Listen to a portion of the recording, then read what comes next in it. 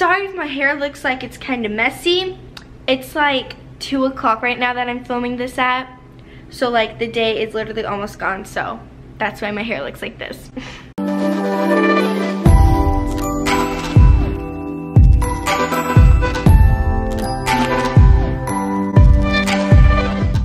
up you guys? It's Emmye. Welcome back to my channel. So today I'm going to be filming the first back to school video for 2018 I'm super excited because we're going to continue with the school series hashtag Emucation in today's video I'm going to be giving you guys some middle school advice and tips and also answer some of your guys questions that you have about school. I'm mainly going to focus on middle school because that's what I want this video to be about. If you like this video give it a thumbs up subscribe down below and let's get started.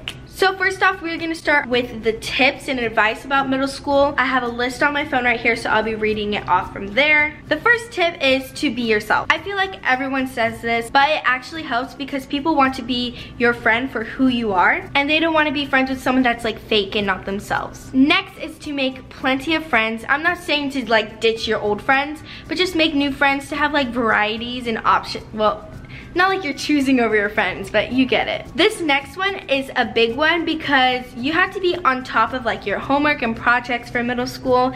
It is to not procrastinate. You have to plan out wisely and make sure that you're productive. Because if you wait till the last minute, then you're probably not gonna give 100% effort into what you're supposed to do, but just don't like cram it all into one last day. Obviously, you don't have to go by these tips, but if you just want to have a fun year or whatever in middle school, then you can follow these tips or not.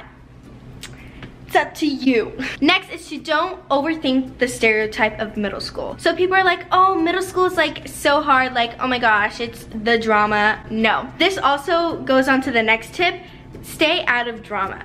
Last year, I wasn't in any drama and I had a super fun year. Don't think of middle school as what everyone else says it is. Hopefully that made sense. Also, be kind to everyone because you don't know what they're going through. Maybe they just need a friend by their side. And lastly, participate in like clubs, maybe after school extracurricular activities just like be involved. Okay, now let's move on to the question and answers part. So this first question is from Augusta Lawson, and she said, how did you survive seventh grade? BTW, I love you so much. Thank you. I survived seventh grade by basically all the tips I gave you guys, mostly to be productive and don't procrastinate, and also, oh, here's another tip have perseverance. Don't give up.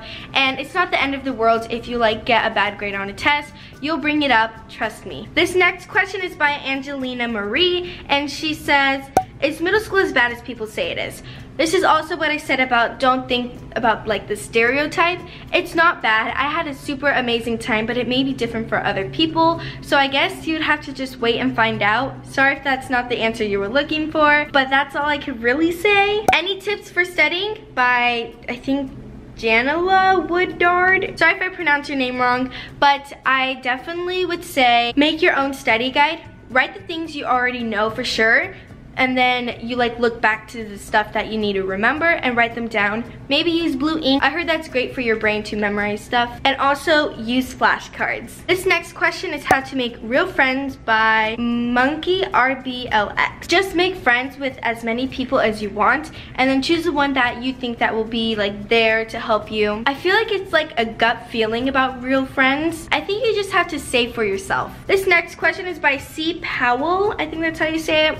And she says, my question is what advice do you give preteen slash teen girls who get stressed about the huge amounts of homework teachers give? Just get on top of the homework and do the hard stuff first so you get that out of the way and you don't have to stress about that uh, like 12 o'clock at night. And then do the easy stuff last. And also start your homework once you get home because I did that and I still ended homework around like 7 o'clock at night and ask questions in class if you're like confused so then at home you can understand it. This next question is from Hannah Slays 1 and she says what's your favorite subject?